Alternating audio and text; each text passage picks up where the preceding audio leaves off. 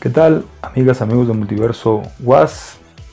Sin duda alguna, el último año y medio ha sido colapsado por la pandemia del COVID-19 y evidentemente, bueno, como su nombre lo dice, ha sido afectado el mundo entero,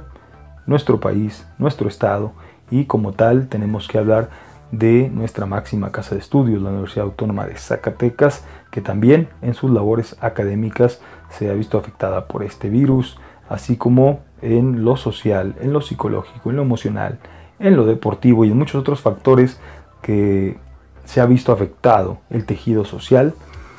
sin duda alguna no podemos hacer a un lado nuestras actividades académicas y de la mano también nuestras actividades deportivas. Y es en este último rubro en el que nos vamos a enfocar en esta ocasión, más precisamente, más específicamente en el factor o en la disciplina del fútbol, asociación o fútbol soccer como se conoce coloquialmente. Es sabido que la Universidad Autónoma de Zacatecas tiene una estructura muy sólida en lo que refiere al fútbol, eh, desde eh, sus trabajos de fuerzas básicas, sus quintas, sextas, cuartas divisiones, así como el fútbol femenil en distintas categorías, eh, las terceras divisiones, tanto la tercera división Premier como la tercera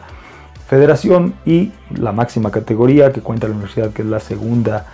división profesional. Sin duda alguna se vieron afectadas todas las categorías por la pandemia del COVID-19, ya que bueno, la primera instrucción que se dio a nivel federal fue cerrar todos los espacios deportivos y pues con ello pues obviamente separaron todas las actividades.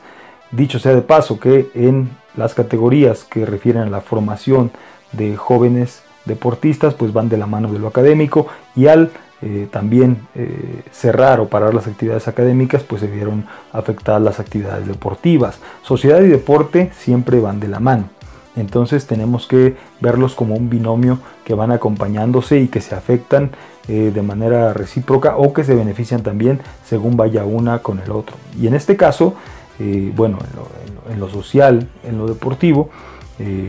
fueron para estas actividades. De a poco también eh, según la información que se va teniendo y el avance que se ha, ido teniendo con el asunto de la vacunación y la información respecto a esta pandemia, pues también se han ido modificando los calendarios. Tal es así que eh, en las categorías de tercera división profesional y segunda división profesional se han ido reactivando las actividades ya desde el año pasado, concluyendo eh, algunos torneos, algunas participaciones, así como también en el torneo nacional de Conde, donde participaron eh, las Tuzas de la UAS que salieron victoriosas, salieron campeonas, eh, obteniendo la medalla de oro a nivel nacional y que bueno, fue un logro muy importante del equipo femenil de fútbol dirigidas por el profesor Miguel Ángel Moreno. Tal es así pues que tanto tercera división como segunda división en esta ocasión ya han hecho su periodo de visorías, de escauteo y de recolección de futbolistas con cara al nuevo torneo que se presenta en la temporada 2021 2022. Esto obviamente le traerá beneficios no solo en el aspecto de la salud, sino en el aspecto también académico y social, no nada más a nuestra universidad, sino a todo el estado. Así que estén listos, estén preparados porque la temporada 2021-2022 de tercera división y segunda división de los Tuzos de la UAS está en puerta.